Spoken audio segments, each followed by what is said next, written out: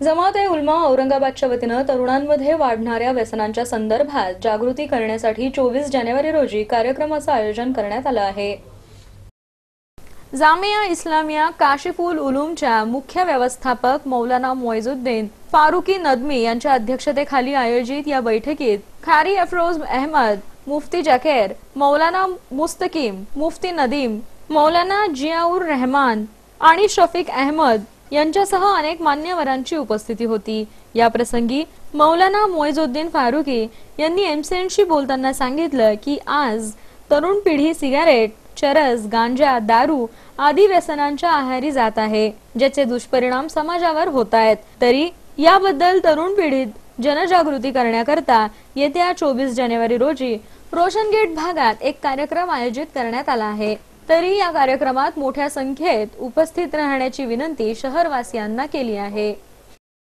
अल्लाह की नाराज़गी के साथ हम तरक्की नहीं कर सकते। इसलिए सबसे बड़ा फरीज़ा हमारा ये है कि हमारी समाज से इन बुराइयों को दूर किया जाए। पूरे शहर में हमने इसकी तहरीक चलाई है कि 24 जनवरी को हमारे पास दारुल देवबंद जो इस पूरे मुल्क का नहीं, बल्कि एशिया की सबसे बड़ी दीनी दरसगाह है वहाँ के मुबलिक मौलाना इरफान साहब कासमी तशरीफ़ ला रहे हैं और वो पूरे मुल्क का अभी हमारे मराठवाड़ा का दौरा कर रहे हैं ताकि ये बुराइयों को ख़त्म किया जाए। तो इस सिलसिले में हमने रोशन गेट पर एक जलसे आम रखा 24 जनवरी को मगरब की नमाज़ के बाद।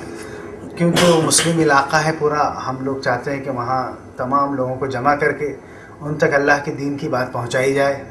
और ख़वातीन को हमने जहर के बाद दो बजे उसी इलाके में पानी के, मुंबई के पास जमा किया है, उनके, उनमें भी मौलाना की बात होगी।